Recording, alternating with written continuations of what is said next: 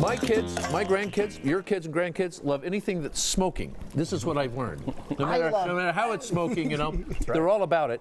And when it's delicious, it's even right. better. What is the science behind this? Well, Mark, the Tim Nichols from Poppin' Stuff, and I first met Tim because look at this. When you have, you've been to these fairs before, right? And if you're looking right now on screen, you know why I've spilled on myself? Yeah, I because I was that. drinking at the break, and all of a sudden, so it's this is a horrible thing. I met Tim because from across the parking lot up in Breckenridge, not only could I smell him, well, the product, The product. uh, but I saw the bubbling, and I thought, ooh, what's going on over there? and you go over and hear these bottles, and then you taste maybe the best root beer I've ever had in my life.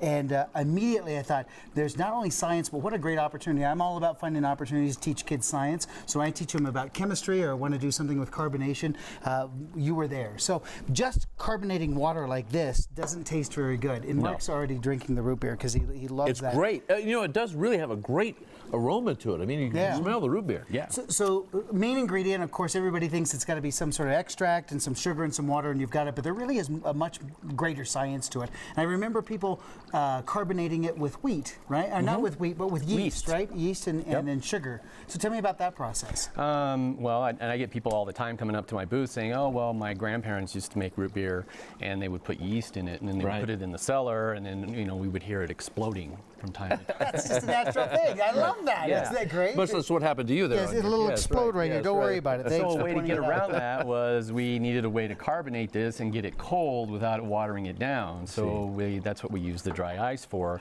um, as it carbonates it, and we don't uh, use wet ice, you know, to. Uh, So when you serve it, do you actually you like post dry ice down in there, or that's no, just no, part of the I have process? a I have a big, huge barrel or a couple of barrels, and you were serving it so fast that Yeah. there's no possible way. And for safety things, we would never, of course, give anybody Right, Uh, it's something. But for us on television, television for you Or to be for able to you, see it, most It's especially. exactly Yes, right. yeah. But you said that it's a, a, a mainly an American drink, right? Yes, Why is that? Um, sassafras pretty much only grows in this country, and it's a back east southern kind of a, it's a tree, and they get the root from it. And the Native Americans used to use it for uh, digestive purposes I to didn't help know their that. digestive. Only here in the U.S. Mhm, I have served it to people from Europe and that kind of thing, and they they don't like it.